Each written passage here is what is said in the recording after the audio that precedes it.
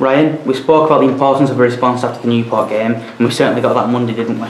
Yeah, certainly did. Yeah, obviously uh, pleased again. Uh, you know, tough circumstances, and the lads have been different class. Uh, the football we played, were back to us was back to us what we've been doing all season. So, uh, really pleased with the result, and, and obviously very pleased with the three goals. Uh, three of your players have been named in the PFA team of the season this week: Danny, Jay, and Joe.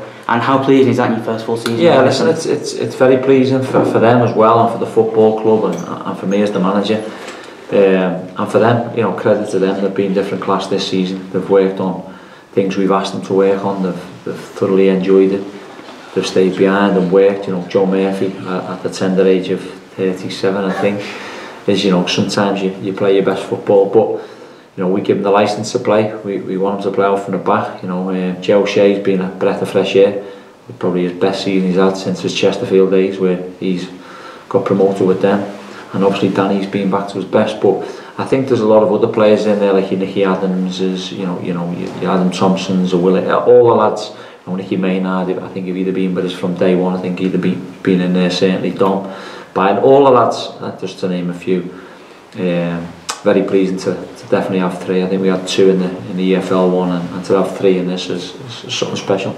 We've got two scheduled games left. Is it just the old cliche of two cup, cup finals, or is it a game at a time? It's not a cup final, is it? can't win a trophy. well, maybe. Um, yeah, it, listen, that we said, didn't we, that you know throughout the season, once we see light at the end of the tunnel, we can certainly see that light at the end of the tunnel. But we're not taking that for granted. We know it's good. It's, the two games are going to be tough. You see, Northampton was a tough start, and once we got into Arbydd, we, we, we were obviously comfortable. But in terms of any team in this football league, League Two, it's they're all difficult. So we won't disrespect anyone. We'll, we'll give them the full appreciation and the respect they deserve, especially Tranmere, because Mickey's done a fantastic job.